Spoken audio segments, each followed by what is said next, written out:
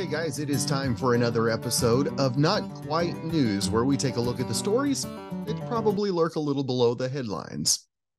Now, first off, Metallica, they got a furry four legged visitor during one of their LA shows at SoFi Stadium. A dog named Storm snuck out of her home nearby and somehow got into the stadium all by herself.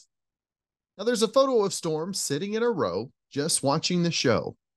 Now, there was some concern that someone had brought their dog with them to the show, but the band says that wasn't the case.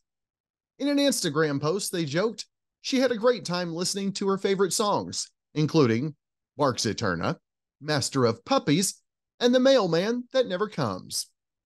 And in case you are wondering, no, you definitely shouldn't bring your furry friends, but this dog sure did have her day. Now, Storm was safely reunited with her family the next day. Now, for a while, it seemed like there was a new shortage of something every week. Now, there hasn't been much of that recently until this. There's apparently a run on laxatives. Sorry, couldn't resist. Now, the Wall Street Journal says that there's a shortage of laxatives, but this time it's not a supply chain issue, it's an overuse situation. The report says that Americans have developed a laxative habit and we're suffering from excessive constipation because we aren't eating enough fiber.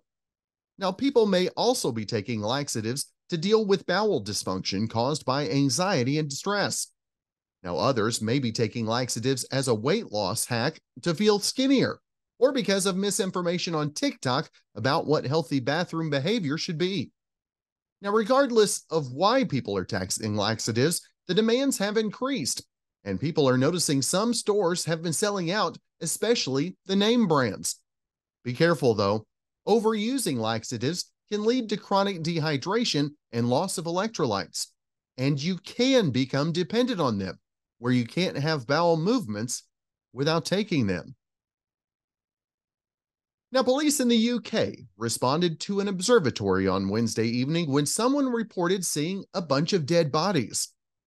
The witness apparently thought there had been a mass murder or cult ritual killings, but when the police got there, it was just a yoga class. Now, the class was performing the corpse pose, also known as Shavasana, where a person lays on their back with their arms and legs spread out. You can imagine how that may have looked.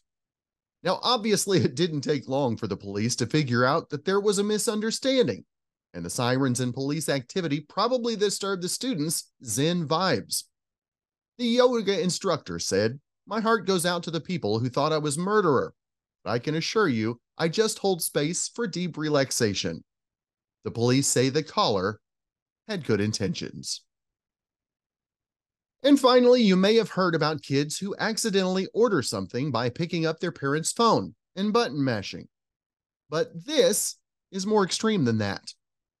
A father shared a video on TikTok showing how his five year old son ordered almost $1,000 worth of stuff on Amazon by just asking Alexa to have the stuff added to his cart. Now, most of it was toys, but he also added for a hot tub, and a $500 one got ordered.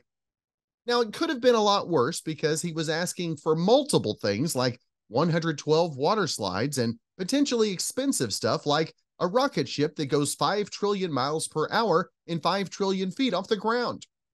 Now, the dad shared this tip Parents, make sure you disable voice purchases on your Alexa app so this doesn't happen to you. Now, it sounds like the father did get a refund because he said he regrets not keeping the hot tub every day. And that's going to wrap up a look at Not Quite News, where we take a look at the stories that lurk below the headlines. Please share, subscribe, and comment. And of course, like I said, share with your friends. We'll be back with more Not Quite News real soon.